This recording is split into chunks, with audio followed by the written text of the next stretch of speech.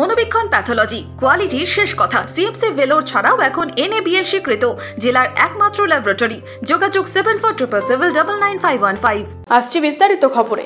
শামসেরগঞ্জে কংগ্রেস প্রার্থীকে ভয় দেখানো হচ্ছে বলে সরাসরি অভিযোগ করলেন প্রদেশ কংগ্রেস সভাপতি অধীর রঞ্জন চৌধুরী। অভিযোগ ভিত্তিহীন বললেন সাংসদ খলিলুর রহমান। কেনাকাটার বস্ত্র বিপণী মনমোহিনী বনেদিয়ানার সেরা ঠিকানা মনমোহিনী। উৎসবের সাজে সেজে উঠুন মনমোহিনীর হাত ধরে। এখন থেকে রয়েছে আমাদের নিজস্ব পার্কিং এর ব্যবস্থাও। মনমোহিনী, বহরমপুর, বোলপুর, মালদা। আগামী তিরিশে সেপ্টেম্বর শামশেরগঞ্জ বিধানসভা কেন্দ্রে ভোটের দিন ঘোষণার পর থেকেই প্রতিদিনই নতুন চমক সামনে আসছে। এই কেন্দ্রে কংগ্রেসের প্রার্থীর করোনা আবহের মৃত্যুর পর কংগ্রেসের প্রার্থী করা হয় জৈদুর রহমানকে। কিন্তু জৈদুর রহমান ভোটের দিন ঘোষণার পরেই ভোটে লড়তে চান না বলেই জানিয়ে দেন। তারপর রাজনৈতিক বাতাবরণ নয়া মোড় নিতেই থাকে। সম্প্রতি গত আঠারোই সেপ্টেম্বর ভিডিও বার্তার মাধ্যমে কংগ্রেসের হয়েই ভোটে লড়বেন। এই সিদ্ধান্ত প্রকাশ্যে জানান কংগ্রেস প্রার্থী জৈদুর রহমান।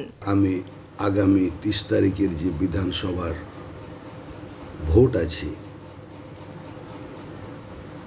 আগামী তিরিশ তারিখে ইনশাল্লাহ আমি জাতীয় কংগ্রেসের প্রার্থী হিসেবে আমি লড়ছি, আছি। যদিও তাতেই শেষ নয়। অব্যাহত রয়েছে রাজনৈতিক তরজা।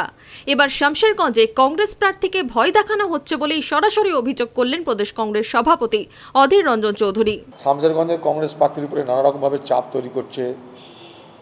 তৃণমূলেরই নেতা তার বাড়িরই লোক নানাভাবে চাপ তৈরি করছে, নানাভাবে তাকে ডিস্টার্ব করছে, ভয় দেখাচ্ছে। অথচ তার যে দাদা, তার মতামত নিয়েই কিন্তু সে ক্যান্ডিডেট হয়েছে এবং তার দাদা আমার সঙ্গে কথা বলেছিল। যে তৃণমূলের নেতা এখন, সেখানকার সভাপতি, সেখানকার এমপি সেও আমাদের সঙ্গে কথা বলেছিল তার ভাইকে ক্যান্ডিডেট করার জন্য। বড় অদ্ভুত ব্যাপার। সভাপতি হওয়ার পর তাদের মনে হয়েছে যে, না, এবার আমার ভাইকে আর দাঁড় করে দেওয়া হবে না। আমরা তো জোর করে দাঁড় করাইনি। পাল্টা জবাবও দিলেন জঙ্গিপুরের সাংসদ, জঙ্গিপুর জেলা তৃণমূল কংগ্রেস সভাপতি ও জৈদুর রহমানের ভাই খলিলুর রহমান। সম্পূর্ণ ভিত্তিহীন অভিযোগ বলে দাবি করেন তিনি। সম্পূর্ণ ভিত্তিহীন। আমি যতদূর দেখছি বুঝছি আর কি আমার প্রার্থী আমিরুল ইসলামকে সঙ্গে করে যে ডোর টু ডোর যাচ্ছে তাতে কংগ্রেসের কোনো চিহ্ন নিশানা নেই। তাতে আমি মনে করি কংগ্রেসের কোনো সংগঠন নেই। কংগ্রেস সিপিএম বিজেপিকে দূরবীন লাগিয়ে আমরাকে দেখতে হবে। বিশে সেপ্টেম্বর থেকে শুরু হয়েছে ভোটের প্রচার।